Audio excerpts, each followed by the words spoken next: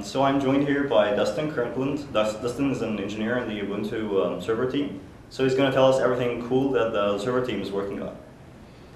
Everything is a tall order. Yeah. Um, like I mentioned, some of the things that we're doing right now for uh, Ubuntu 11.04, the Natty development cycle, um, mostly the, the blueprints that, uh, that our team is working on, um, some of the individuals who are contributing to those um, in no particular order. Cool. Um, we're working uh, quite a bit in the virtualization space. Uh, that's that's been a, a hot point, a focus point for Ubuntu for some time. Containers is one thing that's on our roadmap. LXC, Linux Oh. containers.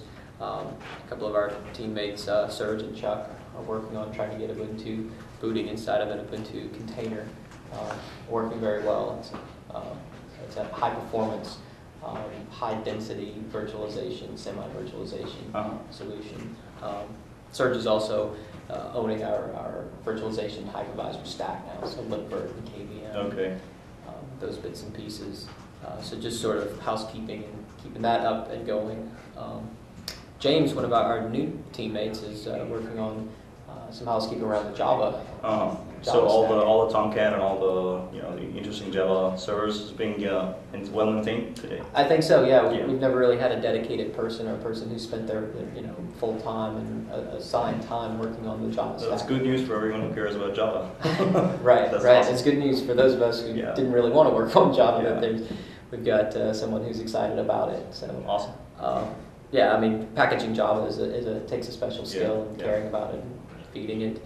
Um, James is also working quite a bit with Hudson uh, Mhm. and uh, EC2 and doing some continuous integration testing, um, the uh, server ISO testing, something that. So that, that means that when you guys produce a new ISO, it gets you know automatically installed and tested for all the major Right. features. That's, right? that's what we're working toward. Um, and, and James is, is owning that blueprint, um, using Hudson and EC2 to So- continuously test. yeah, and that, that helps you know make sure that our images are always rock solid and Right. okay, that's Right. great. Yep, and it's the sort of thing that we invest heavily now, and hopefully this is the sort of thing that just runs, Mhm. uh, you know, like a monkey in the background Yeah. all the time. Definitely. So, um, we're also uh, uh, working on Upstart. Upstart's been uh, been a, an, an amazing init system for Mhm. Ubuntu for some time, and it's it's taken some time to get to the point where it is today. And uh, from time to time, we've run into issues on, on the server side, certain Yeah. things that uh, um, don't work like traditional systems. So Upstart is like the, the thing, the, the startup sequence that makes Ubuntu boot so fast.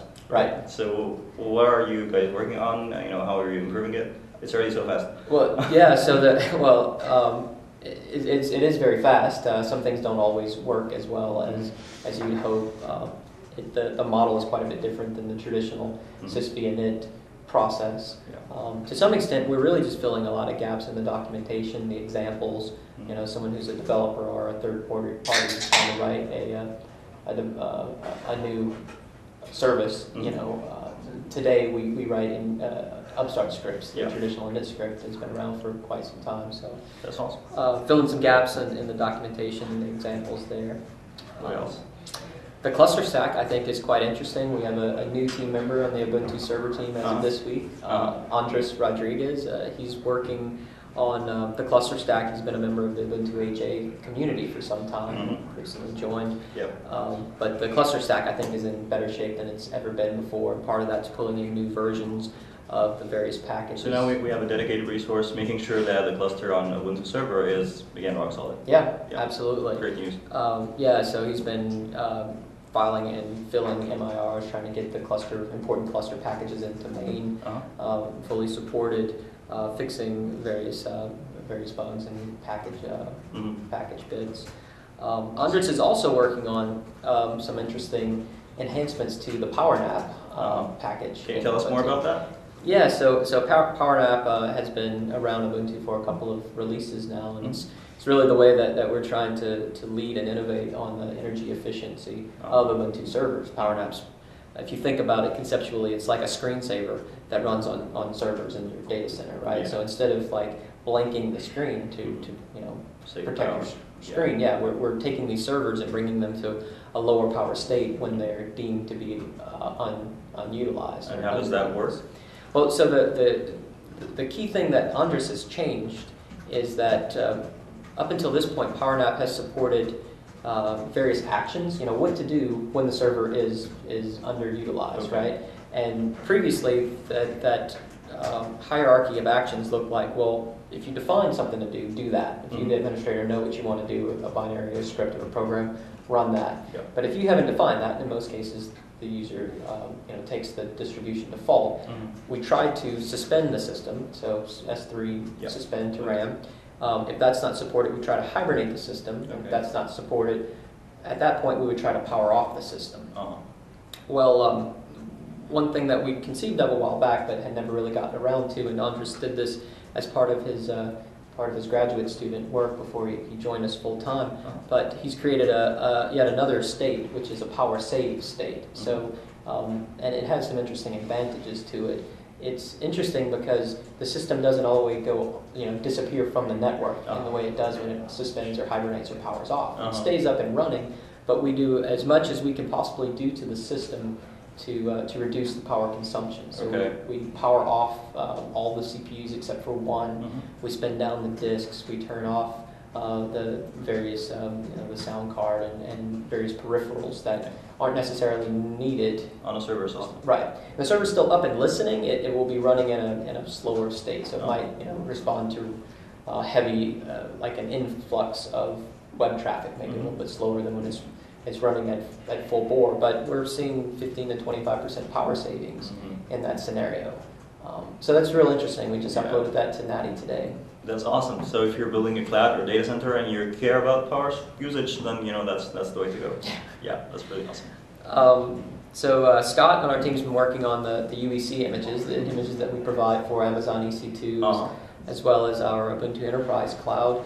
Um, we, he continues to update and improve the, uh, the Ubuntu server images, Uh-huh. uh, integrating things like, uh, like Grub actually in the image, self-serviceable kernels. You can actually uh, update your kernel now in, in your UEC or EC2 ins- instance, reboot that instance and run a new kernel. So build pre- your previously the kernel was like controlled by Amazon, so you Right. can't really upgrade that. Right. But right now you have it, it's like a normal bare metal server. Yep, absolutely amazing stuff. Yeah. Uh, we've also been working a little bit on actually desktop images that are cloud compatible, Oh, that's cool. uh, which is really neat. Yeah, Yeah. It's, it's not quite to the point where we're ready to, to demo it for everyone yet, but we're getting uh, ever so close. Our hope is to be able to allow people to uh, test drive a, a Unity Yeah. based uh, Ubuntu 1104 system uh, in the cloud. Mhm. Um, so without having to install it, run it local, uh, you fire up a web browser, Yeah. uh, system runs remotely, and uh, you've got a, a client that's that's that's driving your own Ubuntu desktop system using the new Unity interface, Uh-huh. you know, in the cloud. That's that's similar to the Cloud 10 program that we launched, like with the uh, Maverick release. Uh, something like that. Yeah, we- except for desktops, which is you know pretty cool if you want to demo Ubuntu in a local event, for Right. instance. Yeah, then you, you have the uh, the chance to just spin up desktop images and you know give it the chance um, for people to try them out. Right. Um, so one of the other exciting things I think we're doing, and we're, we're really uh, um, very much a, a, a whole team effort, but we're working on an overall uh, strategy for uh, Ubuntu server deployments, which we're, for lack of a better term, we're calling it the, um, the installation and configuration service, right?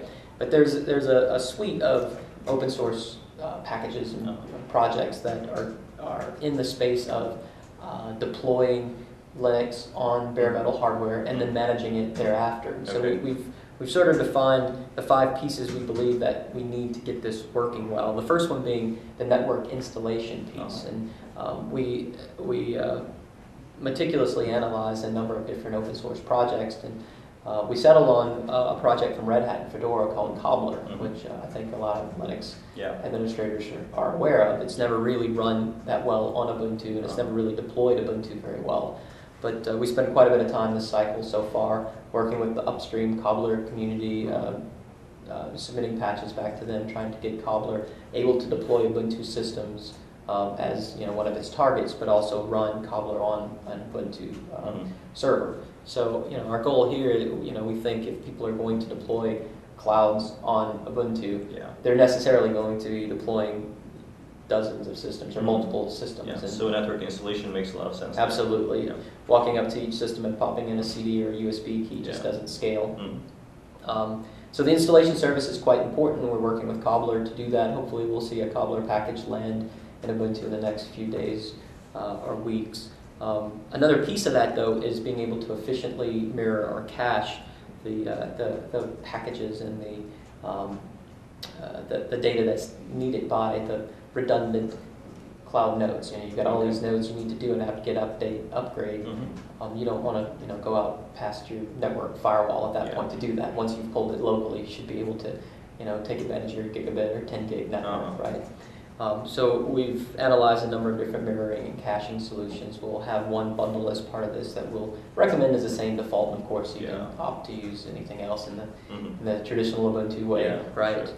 Um, triggering those installations uh, is another important aspect. Being able to use something like Wake on LAN or IPMI to Mhm. remotely uh, remotely ping a system. Yeah, To, power it on, boot PXE, and you know do his thing. exactly. So Uh-huh. that's that's all part of this. That's all part of this um, this effort.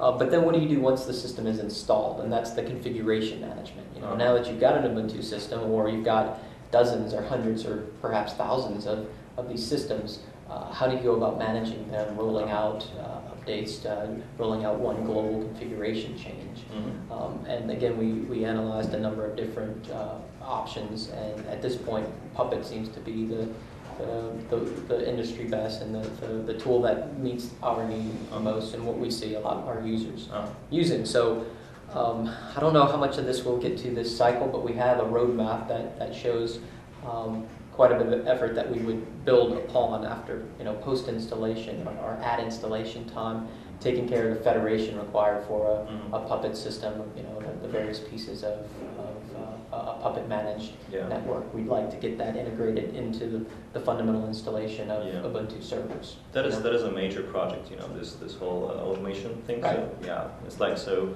Um, so is this integrated with UEC as well, or? It will. So we, we, we will look at UEC as being like the key test case Mhm. for for this this project, right? Mhm. The, the goal of this will be to deploy UEC and deploy UEC very well, Yeah.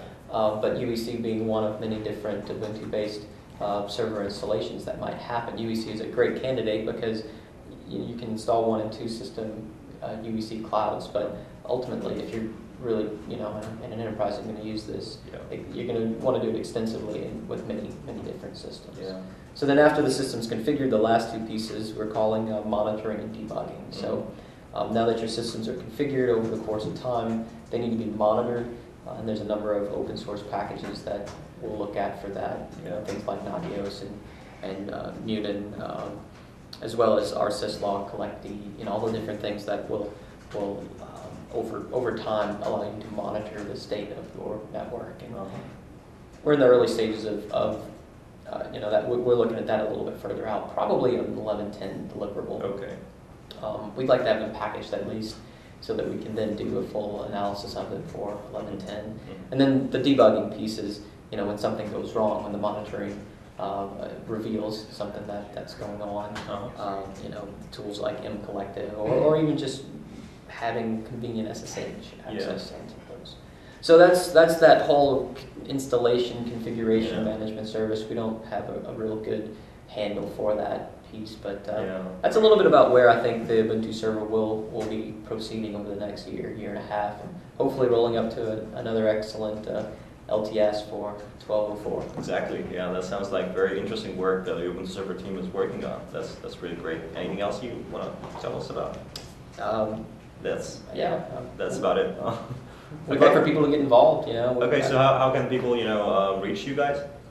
Uh, well, I think uh, the place that's probably the, the most dynamic and most immediate is our IRC channel. So Okay. the traditional irc.freenode.net, uh, pound Ubuntu server, Uh-huh. uh, Ubuntu dash server. Yep. Um, most of us are in there. Um, I'd say from early morning European time to late evening U.S. time. Uh-huh. Uh, there are people around to help or You discuss. can also um, get on the mailing list right, for any questions. Yep, or- absolutely. Ubuntu server mailing list. Um, my my nickname, my handle is Kirkland. So. Okay, that's awesome. Thank you. Then. Thanks.